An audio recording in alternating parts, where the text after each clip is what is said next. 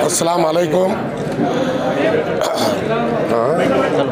अस्सलाम वालेकुम सबका जो है, बीजेपी इससे पहले मेरे को साहब बुलाए थे, एक महीना दो महीने पहले। बीजेपी पार्टी से भी मैं अगर ठहरा तो करो बोले। तो हम बोले, साहब नहीं होता हमारे को, हमारे पास उतना ये नहीं हो सकता। आप अगर जनता दल वगैरह से आएँगे सेकुलर पार्टी से तो हम आपकी मदद करेंगे साहब बोले। साहब को ऊपर वाले की किस्मत से ऊपर वाले की दुआ से साहब को जेडीएस का टिकट मिला। सेकुलर पार्टी है और हमारे अतीक भाई सीनियर हमारे कायद सऊद भाई और हमारे ताज पटेल नबी कुरैशी साहब हमारे दाऊद भाई ऐसे सारे लोग मिलकर हम डिसाइड करें कि अब के बार साहब को हम हेल्प करेंगे और डंके की चोट पे एक लाख दस हज़ार वोट लेंगे हम, इंशाल्लाह।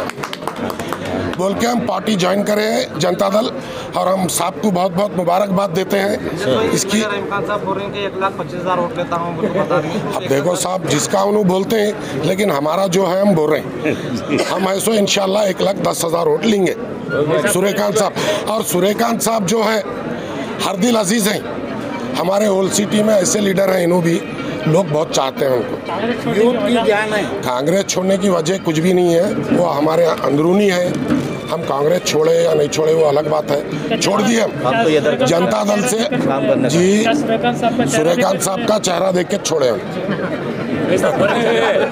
चर्चा चर्चा चल रही है। हाँ। जीतने के बाद नागपुर साहब ऑपरेशन कमल से और बीजेपी में जाते हैं नहीं नहीं नहीं बस। भरोसा है?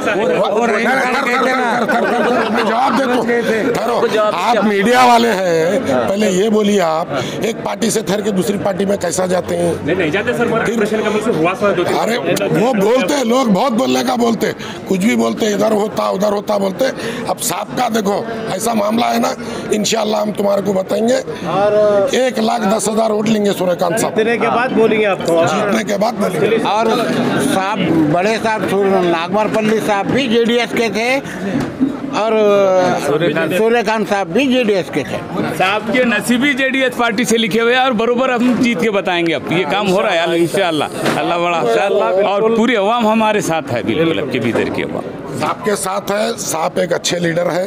साहब का पूरा साथ देंगे लोग और खुल के साथ देंगे कहेंगे?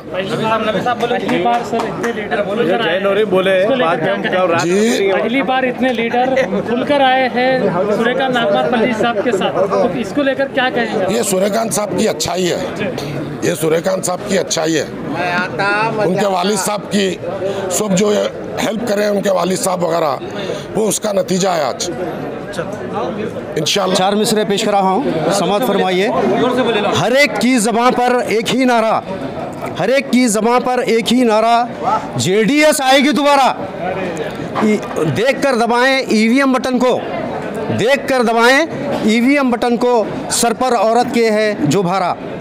जय हिंद जय कर्नाटक जय जेडीएस सब बसवेश्वर चौक।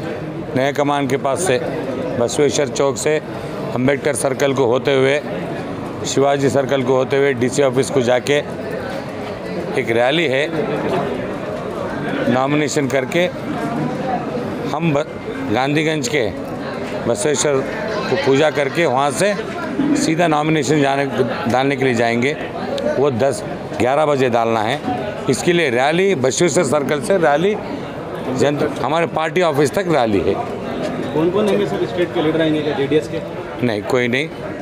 वो स्टेट का प्रोग्राम बिदर के आवाम में स्टेट के लीडर है हमारे। बिदर के लोग कम है क्या हमारे? हाँ? तमाम लोगों से मेरी गुजारिश है बिदर के डेवलपमेंट के लिए एक कदम डेवलपमेंट के लिए लगाएँगे और पाँच साल सुकून रहेंगे।